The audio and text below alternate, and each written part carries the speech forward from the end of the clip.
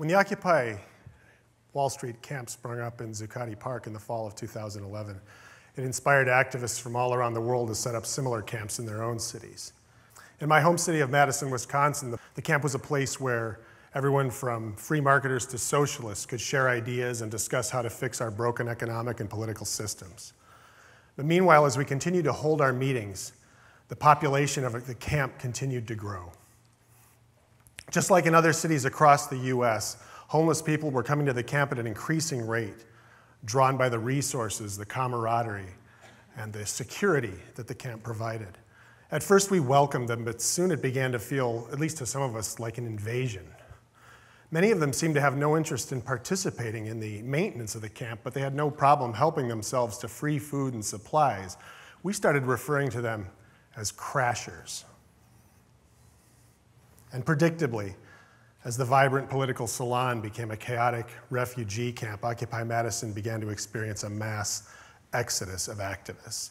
And as the cold months of winter arrived, we couldn't help noticing, especially the homeless couldn't help noticing that most of the remaining activists weren't spending their nights at the camp, but in the warmth of their homes, you know, not in a parking lot, in a, in a frozen tent. Uh, the homeless felt they were the ones doing the real occupying, and they started referring to us as housies. Some of us on both sides tried to make peace, but the resentments ran deep. To give you an example, at one point, an unemployed homeless construction worker stormed into the large hoop house that we used as our, our central meeting room. He, he reached into his pocket, pulled out a handful of screws, and he whipped them into the center of the room onto the floor and just yelled, Screw you. I, I, can't blame the activists that quit at this point because it, it's nearly impossible to have any kind of a productive meeting in that kind of chaos. I mean, no one signed up to be verbally abused. But these kinds of incidents were beginning to communicate one thing very clearly people were in real emotional pain an abstract political theory wasn't going to heal them. By this time, those who couldn't let go of their pure ideologies had to let go of Occupy Madison. The Occupy movement for them had proven to be yet another false alarm for a revolution that wasn't going to happen.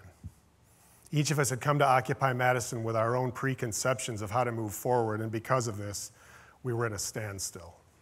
We had resented many of the homeless for not participating. But some of us were beginning to realize that we were expecting them to meet us entirely on our terms. For those of us in this room who come from a culture of business or academia, it's, it's easy to take for granted all of the assumed rules of communication in a business or academic meeting. You know, a specific agenda, you know, staying on topic, concise speech, time limits. Some homeless people are familiar with these uh, rules, but many are not. I, want you to consider yourself in the following situation. Imagine you live on the streets. No one wants to hire you. No one wants to rent to you. People walk past you every day and they don't make eye contact. You're, you're invisible. You don't exist and, and you try to keep your dignity, but in the back of your mind, this adds up, and you can't help but think that maybe you aren't as worthy as those people who keep ignoring you every day. And, and then suddenly you find yourself in a, in a meeting room with these people, and they're saying, Join in, speak your mind. And now you're very visible, and everyone can see that you haven't had a shower in days and everyone sees your dirty clothes. And you're afraid that you're not going to be as articulate as the person who just spoke before you sitting next to you. And you finally work up the courage to speak. And someone says, I'm sorry, you're, you're off topic. That's, that's not on our agenda. Why would you ever put yourself in that situation? So we relaxed our rules and, and, we let the meetings become much more flexible. And we accepted the fact that the daily and nightly conversations around the fire barrel were every bit as important as the formal meetings, and we began to have real dialogue. We even had a small ceremony where we wrote the words Crasher and Housey on cards and burned them. I have many fond memories from this time uh, of Jen bringing hot coffee to the camp every morning at 5 a.m. before she went to work, of Will, whose resounding voice never needed a microphone, uh, of Dennis, a charismatic but troubled combat veteran of the Iraq War, searching for peace. And all the wonderful midnight conversations I had with Royston and so many others. I can't say everything was fine after that because much of the chaos and conflict never went away. But we learned to see each other's humanity across class lines. And for the first time in the history of Madison, homeless people had become an organized political force to be reckoned with. In April of 2012, when Madison Mayor Paul Soglin ordered the dismantling of the camp, several dozen homeless members of Occupy Madison attended a city council meeting to petition their government. And one after another they told their stories. And the city alders had never seen anything like this before. But the camp did come to an end, and everyone naturally assumed that would be the end of Occupy Madison. But we simply couldn't let our story end here, because some of us, like me, could just go back to our houses, but uh, most of us had nowhere to go.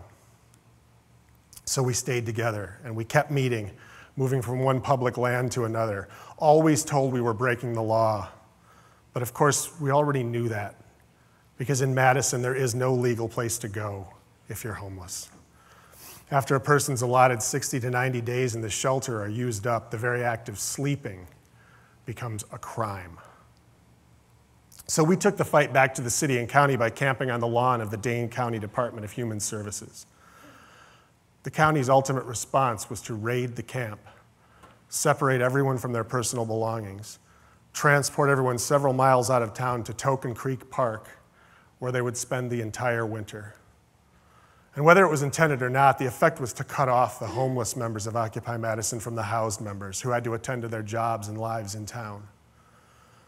We were often told that the answer was to get permission to camp on private land.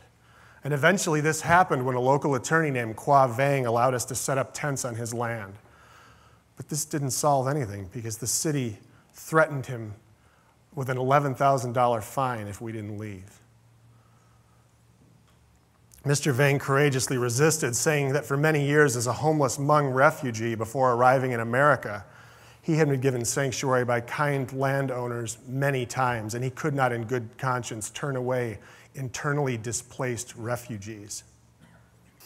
After exhausting every existing option, we were forced to realize the city and county could not be expected to find a housing solution for us. We were going to have to create our own housing. And in the time I have here today, I could not hope to tell you the whole story. But we brainstormed. We attended countless meetings with each other, with neighbors, with city officials. We hammered and sawed and painted. And finally, we built our first tiny house and we took it on the road to rally support and raise funds. But building tiny houses wasn't enough because we still had no place to put them. For a year, we had to move that first house every 48 hours. And despite now having shelter, the couple living in it was still on the street, vulnerable and exposed. Everything changed in the summer of 2014 when we were able to buy a dilapidated auto repair shop at the west entrance of the Emerson East neighborhood. The people of Emerson East are great. They're very friendly, but some of them were legitimately concerned that an influx of formerly homeless people might bring noise and litter and police calls. We wanted to be neighbors, not invaders. So, with the help of our city alder, Larry Palm, we set up a series of public meetings to address these issues, and support grew. The fact that our tiny house village would be in a residential neighborhood was actually a key part of our model. We rejected the idea that a community of formerly homeless people had to be placed on an isolated plot of land at the edge of town. Our experience taught us that segregation and isolation of people just promotes more hopelessness, addiction, depression, petty crime. People have a much better chance of thriving when they're a part of society and not excluded from it. In a matter of months, ongoing negotiations with the city saw us go from being blocked by seemingly insurmountable zoning laws to a vote of unanimous approval from the Madison Common Council. And so we began construction, and the result was OM Village, a self governed community comprising tiny houses built by and for form, people formerly in need of safe, stable housing a workshop for building those houses, a retail store, gardens, and even beehives. OM Village is an experiment. It's a work in progress. Its future is not guaranteed. It will succeed only to the extent that we work to make it succeed. We get emails from everywhere from people who want to create a tiny house village where they live. And the truth is, we really are still figuring things out for ourselves. But we're happy to share what we learn along the way with anyone who wants to find out about it. Uh, we're not utopian. We, we know that this is not the complete solution to homelessness. But there are people in every city and county in the US for whom a tiny house could be a safe, stable home. And why should anyone live like this when they can live like this? Thank you.